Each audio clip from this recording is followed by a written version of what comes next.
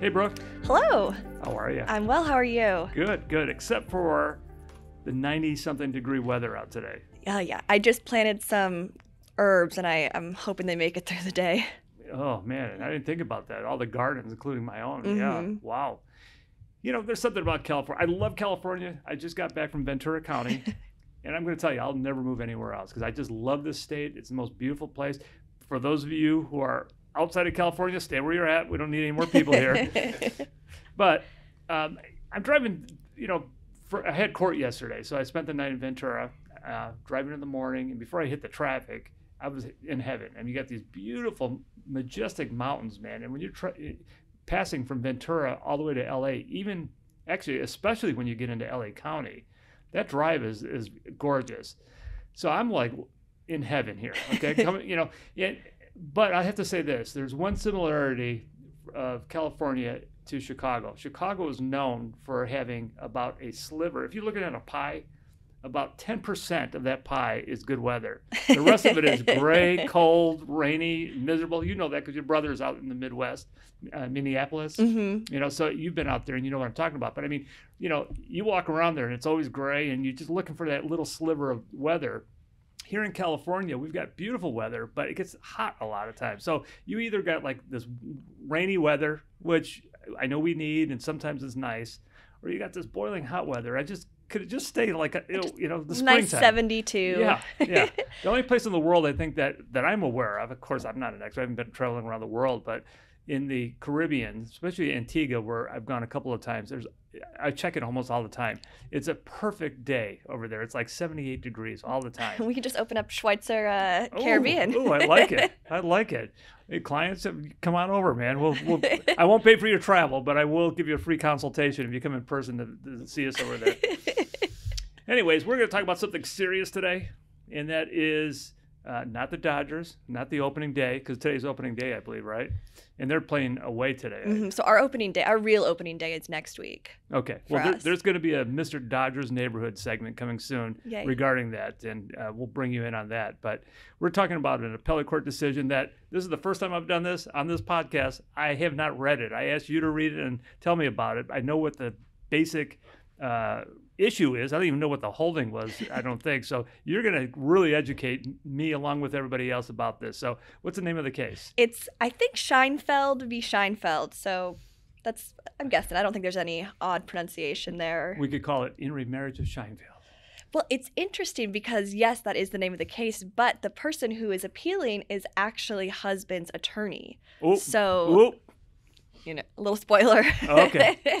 oh, oh, somebody got in trouble. Okay, Mhm. tell us about it. All right. So the main issue is, as I think you could have guessed, a sanctions issue. So just a little history on this case. Um, there was a DVRO in Uh, six. D. I'm sorry, a domestic violence restraining order, um, ordered in June 2017. And as part of that, that which is pretty common, um, the wife is allowed to record any violations of that um, DVRO, which is pretty standard. A few months later, there's also a criminal protective order because husband. Uh, A C P O. Okay, go ahead. we have all the all the acronyms. Um, that also allowed a wife to record any violations. And then later that month, she files for dissolution, as is pretty common. Um, Okay, wait, wait, wait, wait, wait. Remember, I'm from the Midwest. Okay, I not only talk slowly, but I listen slowly. So, so what I have here is we got a divorce, and it's this is a messy one because we have a domestic violence incident that uh, the wife goes in and gets a restraining order Mhm. against the husband. Mhm, a permanent one, five years. And simultaneous with that, we've got a criminal case, which we see a lot, right? Mhm. I mean, you know, most of the time, you know, we're representing the victims, but sometimes we even represent the people that are accused, and it completely messes things up for the person that's convicted. Oh, so this this husband in this case has got a double whammy. He's, okay. he's not doing super well right now. Okay. Um, so she files for dissolution um, later that same month as the CPO. In the criminal matter, he's represented by the main lawyer, who we're going to be talking about throughout this podcast. And then he also retains her for the dissolution. Um, that same month, again, September 2017 was a big month for these uh, parties.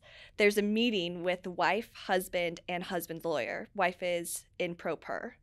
Okay. it- it sounds Seems a little lopsided to me. well, and just buckle up. It sounds like this meeting really goes off the rails. Um, and she records the meeting because it's a violation of the restraining order, the way that they are speaking, the way husband is speaking to oh her. my God, I got to hear this. But Okay. also, the lawyer is being very um, harsh, I guess, for lack of a better word, saying things like, if I were him, I would have hit you too. you've um, got to be kidding me. So just very. Wait, wait, wait, wait. Is this a family law attorney or a criminal defense attorney? I did not look her up, but she, um, I mean, she represented him in the criminal matter first. And and so I'll ask you a little bit a little bit differently. We don't want to call somebody out on this, but maybe not. So, anyways, so what are they talking about during the settlement? They must be talking about the family law stuff. It, yes, I think so because it's already the criminal matter's already been. So, so they're representing. She's representing in some fashion for their family law case Oh, yes. during a settlement conference. Wife, is it a secret recording? You know, they actually don't say if she makes it clear she's recording. She Um, probably didn't, I would assume but not. she already had authority. but she had authority, so she didn't have to. Okay. But before you go any further, I just want to say this. I, you're, you're probably going to spoil it for me, but or you're going to correct me on this.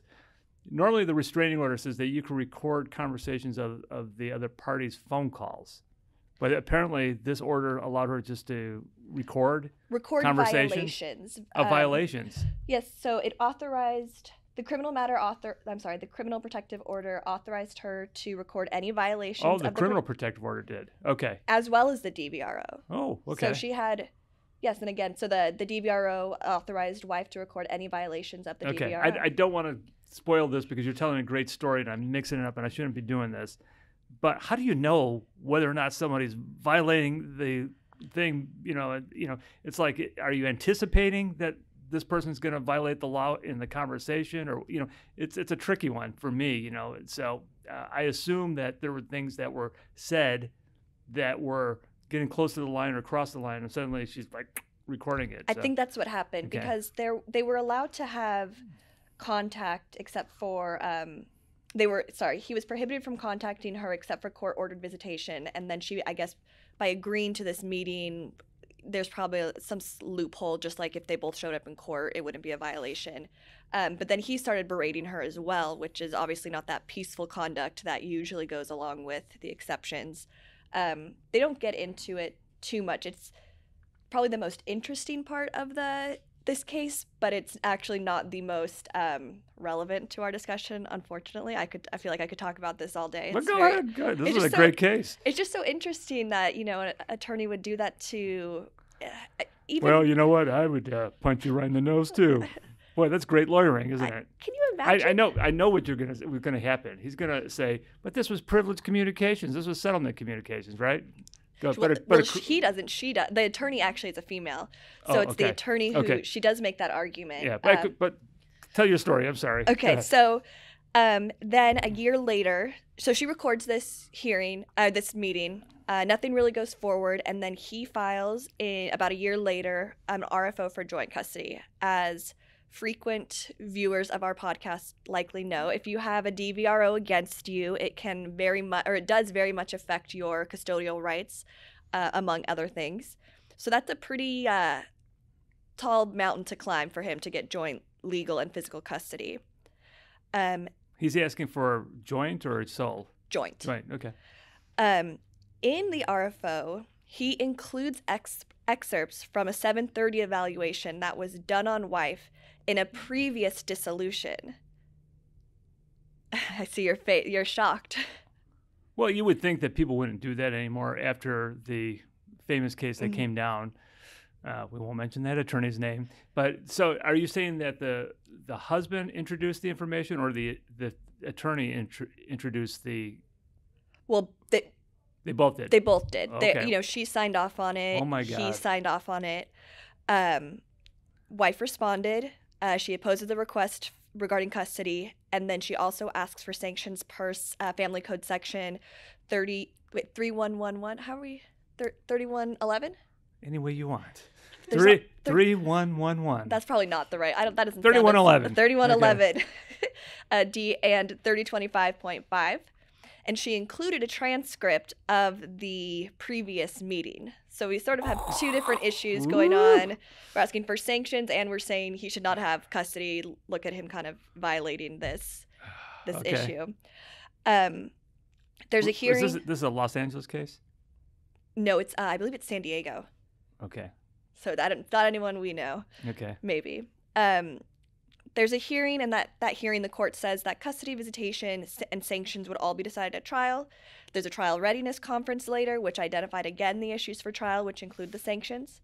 And then wife filed a trial brief that included her request for sanctions. Husband and his counsel didn't file a trial brief, so they didn't Okay. respond. This attorney was not a, a practicing family law attorney. I don't this is somebody so. that thinks if I could do criminal law, I could do family law, and it's just about kids and stuff. You know, you know, I do the hard work, and you know that's what is going on here. Oh, this is not a family law practitioner. You didn't even file a brief. Nope. Okay.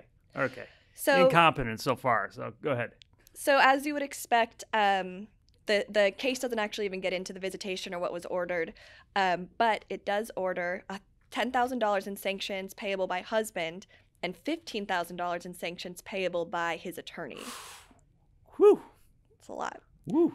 So, which brings us to this case. Well, let, let me ask you. So the, at the trial court level, it was how much against the the the husband, ten thousand and what was the sanction for?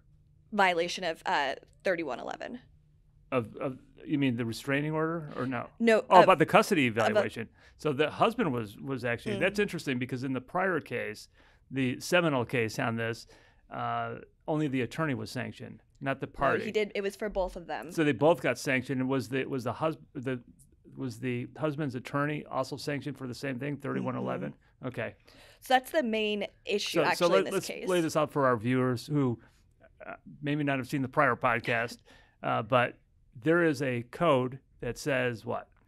that says that these confidential evaluations cannot be disclosed to it basically only says it can be disclosed to the other party uh, le- officials um, and the court if deemed necessary Yeah. So so what has always been the case is the child custody evaluators reports are deemed to be confidential because it contains a lot of personal information.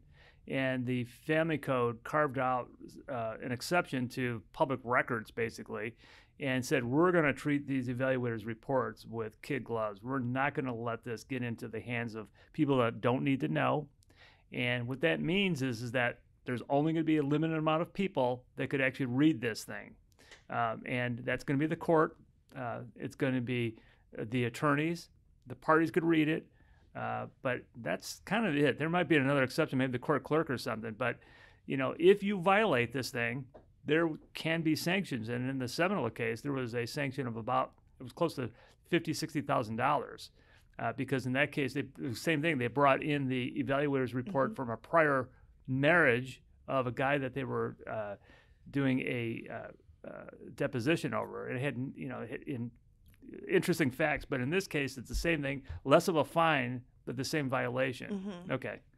So um, the lawyer appealed and basically her arguments were 33 i'm sorry 3111 didn't apply to lawyers she didn't receive proper notice um, which would comply with due process the court lacked personal jurisdiction she gets into the safe harbor provision but i don't think it's worth discussing Is too much settlement, you mean, or what's a safe harbor? What is that? it was something I had not really even thought. It, I, I've never come across it when we're doing work, but basically it says that you can pull, um, pull a filing, a frivolous fi- filing, and avoid sanctions.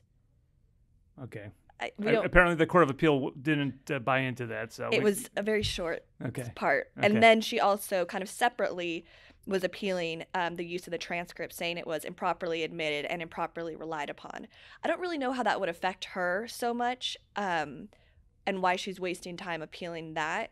You know, if husband wanted to appeal it, maybe, but it, it just seemed a little odd to me. Um, and so, unsurprisingly to me, the Court of Appeals upheld the trial court's decision. Um, and there's a couple of reasons why. Uh, it, it- the lawyers sort of threw everything against the wall. They always so, do. so yeah. sh- they had to respond to a lot of things. But I thought one of the most interesting um, arguments the court, or what the court was persuaded by, was looking at Family Code 3111 and looking one at the plain language. Um, I felt like I was back in law school, you know, all the different ways to read an argument. Uh, but more importantly, is the policy and the intent behind uh, that, you know, that statute. Um, these evaluations are very important, but they are getting into very sensitive information and they want full uh, cooperation. And you're not going to sit there and sit with some person you've never met, you don't know, you have no relationship, who's evaluating you, who can make big decisions if, and be honest, if there's, um, you know, a chance of people reading it. Um, you know, you're getting into delicate things even regarding your children. Psych tests. Yeah, you don't want that on the record. Addictions.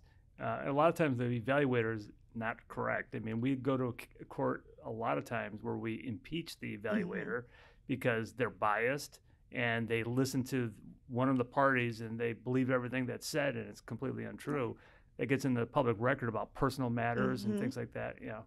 And then the other reason that they found that the legislator passed 3111 um, is really to deter people from doing that. So we have this cooperation. It's it's not sanctions like oh well you you know you kind of wasted the other party's time and they had to spend money like no this is kind of a a punishment sort of thing they do not want you doing this and I think that's why the the court came down so hard. Obviously, not as hard as in the previous case we've referenced, but this is still a fifteen thousand dollars sanction against an attorney is is pretty high. Well, it's significant too because if it's over a thousand dollars, they have to report it to the state bar. Well, you know, it's interesting. I, I tried to look and see if it was on this attorney's um, profile, not, not but yet. not yet. Oh, you're right. It just came. Yeah.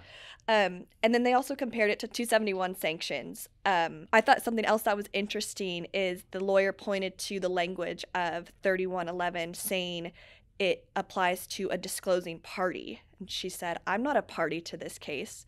Um, but as we all learned in our ethics class, uh, you, as an officer of the court, have a duty to the court. Um, and then this sort of gets into her argument about personal jurisdiction as well um, that the court has personal jurisdiction over an attorney um, when they are, you know, part of the the case. You can't say you don't have personal jurisdiction over me. Um, that is an interesting concept. I've never read that before. Wow. It seems interesting that she raised it. You know, it's again one of those. Yeah. I think throwing it against the wall. Yeah. Um, but I did like how the the court responded to it, saying, you know, as an attorney, as an officer of the court, you are, you are one of the parties. Yeah. Somewhat. Yeah. Um, the other another argument she made that I thought was interesting was that she didn't have the proper notice, which is an interesting ar- uh, argument because one, she had the response uh, responsive declaration, which was asking for those sanctions. There was the hearing in which the judge said this is going to be an issue. There was the trial readiness conference, which it was brought up again, and then there was also the trial brief, which again so where was the lack of notice? She was trying to argue that there needed to be a separate oh, I know that argument. rfo which yeah. we know is not true. Yeah. There used to be a belief out in family law that you had to send out some kind of a formal notice on pleading that we will be seeking sanctions against you and all that you know and, and if you didn't do that then you couldn't ask for sanctions. Well there's been some appellate court decisions mm-hmm. that have said it doesn't have to be that formal. You know in fact the motion itself is notice isn't it? Well and it wasn't even you know, wife's motion, there's they said it's enough that she asked for that affirmative relief in her response. So even though that was noticed, it wasn't brought yeah. up in the RFO, it was noticed in the response. Mm.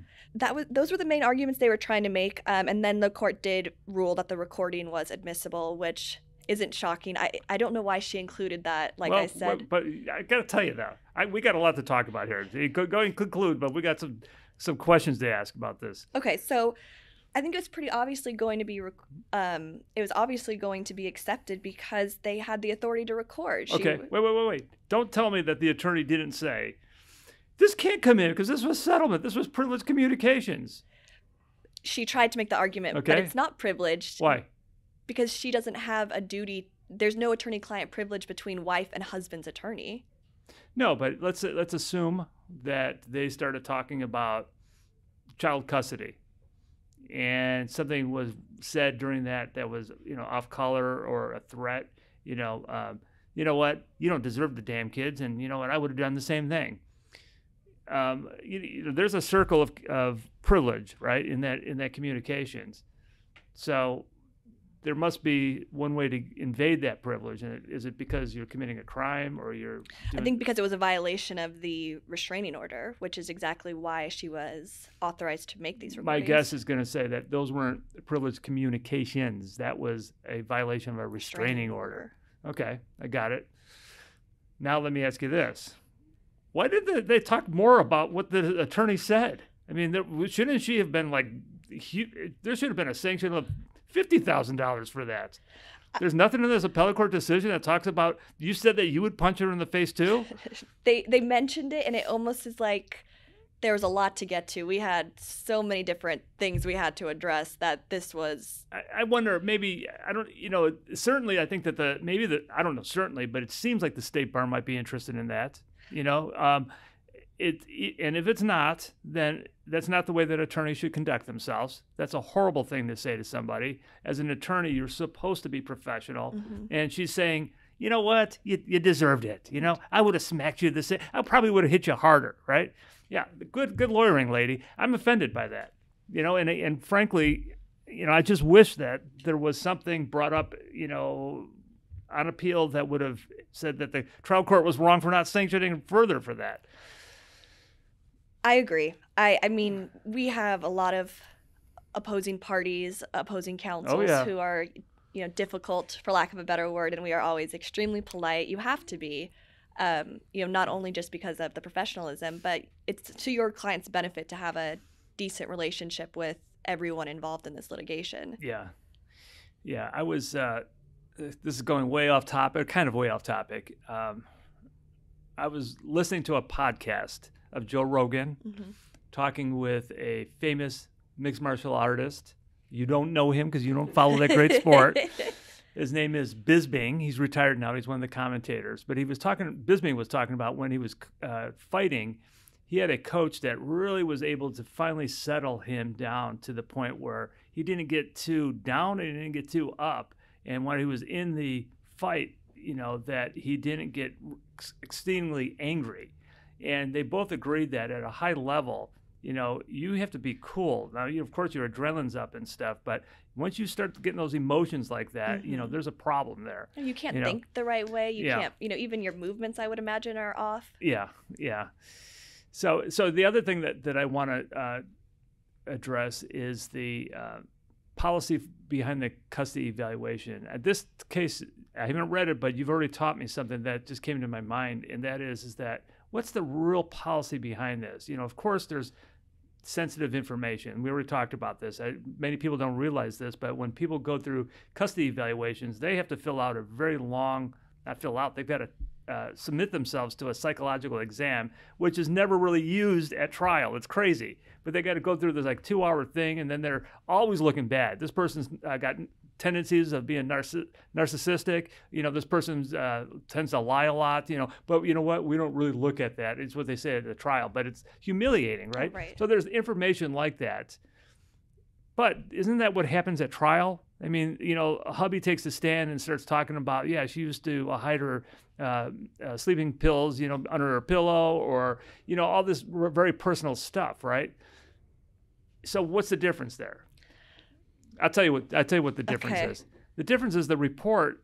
You're not. It's not subject to cross examination before it gets in the hands of people, right? If it's in public, I mean, people have the right to put on a hearing, defend themselves in, in things. It's not in the report, and again, the evaluator could get it wrong, mm-hmm. and you know, there's a lot of lot of stuff in there that's just going to be unchallenged. You can't these reports are 100 pages long, right? You can't challenge everything, you know, and you don't get a chance to do a response to that and say, here, you, uh, you could give the report to them, but give my response mm-hmm. too, right? So it could be very damaging, particularly if it if it's a uh, notable person and you get into the public eye and stuff, right? Oh, definitely. Okay, so I think that we just created a new policy decision, right? So I like that. Yeah, well, and I also think there there's kind of a cynical part of me that they're hoping that these custody evaluations i think the court is hoping that these custody evaluations once you start reading it the parties realize maybe it's not great to go to trial on this and maybe we can kind of come and settle. There's some pretty damning things in here and if it's not going to maybe come out as part of a report you know i've just you know, the, sort the, the other side has a, a roadmap of kind of what to ask me or maybe how they want to paint me. Um, so maybe they're thinking that they're going to better the chances of a settlement as well by ordering these evaluations. Well, okay, so now you're talking about you know whether these evaluations should be ordered, and you know you're uh, too young to know this, but there was a time where these evaluations were being produced like a like a paper mill. Oh, really? I mean, oh my God, yeah. Almost every case that you had, there was a custody evaluation, and it was one after another, and you'd be waiting. I had one evaluation where the evaluator would take vacations. I'll be in Hawaii for like three months, and I'll pick up where I'm at and stuff. I think it took like nine months. Forty-five thousand dollars later, it comes out, and she was actually a very good evaluator. I mean, by the time she was done, I was impressed the fact that I thought that she was very fair-minded and she did a good job. But what really strikes a lot of people, and this is why we're seeing a lot less of them, I think, is because it's kind of the judge abdicating his or her duty to really look at the evidence. Now, I think that the good part of a custody evaluation is the evaluator could dig really deep and talk to third parties and and really uh, get documents like uh, documents from DCFS. So they could do an investigation, and that's a good thing, you know, that somebody's digging in there, really looking at it. But it became a rubber stamp thing. Boom, mm. boom, boom, you know, and. Uh, who uh, rest his soul, one of the most famous uh, divorce attorneys in the world, uh, used to say that we should just get rid of them altogether, just put on the evidence. I don't know if I agree with that completely, but I think that everybody should know that those reports are not gospel. You know, especially like you know we do a lot of uh, move away cases, and uh, you know we challenge the evaluators when they have an obvious bias in stuff. You know, and we've been successful, fortunately, but there are you know some people that don't know how to contest that, mm-hmm. and it's hard. Yeah, and so you know the judge rubber stamp it, right? so cool, that. cool. Well, this was wonderful. You were I'm great. So happy. Well, thank you. I know I felt like I was back in law school again. I think I said that already. Just going through the you case. know, it's good. It's nice the reading cases though. You know, it, you're you're right. Is as an attorney, people don't realize this, but you're not looking at the cases as thoroughly as when you were in law school. Yeah. No, you I know. have all my notes like this was her, these were her arguments. This what yeah. I, you know, we're, nice. we're going to send you back to USC and you're going to start teaching this stuff, man. I love it. Good job. Thank you. Thank you.